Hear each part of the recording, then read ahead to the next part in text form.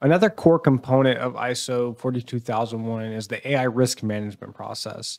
And there's actually a, a whole other framework for AI risk management, which is ISO 23894.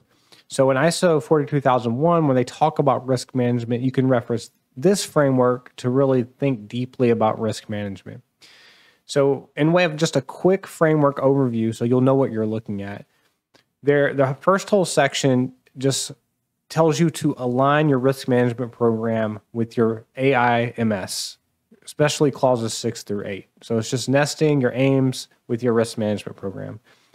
The next section is actually your risk assessment process. And it covers how you uncover risk, prioritize those risks, ingest them, evaluate them, do something about them, and so forth. So there's some tactical guidance on what that should look like. But one of my favorite things about 23894 is the risk sources. So sometimes as you're executing a risk assessment, it's hard to think through like what should you even think about to uncover risk? Where would you look? What types of things would you consider? And that Annex B, risk sources, provides some really good guidance for that. So just be aware that when you see risk management, there is this separate AI risk management framework. I'm, i want to put it towards you a little more simply. So ignoring the framework, this is kind of how it looks there's kind of these five buckets when you think about AI risk management. And when, at Risk3sixty, when we're helping organizations set up a risk management program, this is kind of what we're thinking about.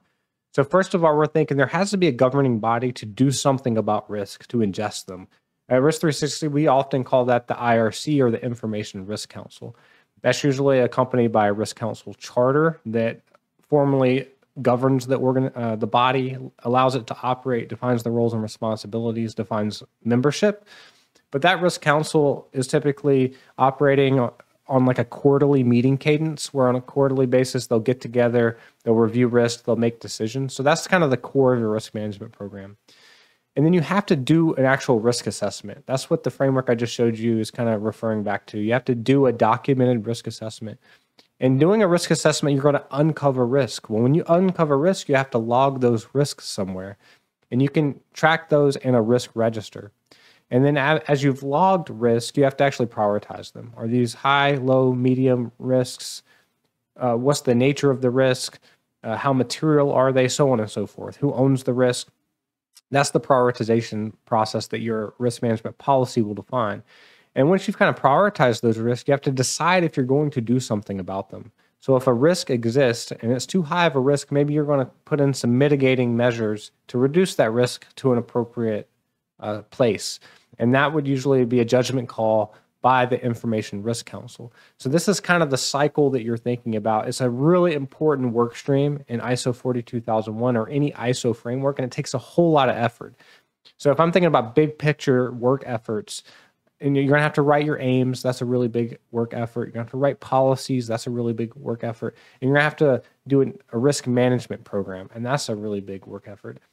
Later on in this course, we're going to talk about actually managing your program. And at Risk3sixty, we use something called Full Circle. That's our GRC platform. And we have a way to log all of your risks there and make decisions about risk. And I'll show you that. It's really cool. It takes it out of an Excel spreadsheet and puts it there.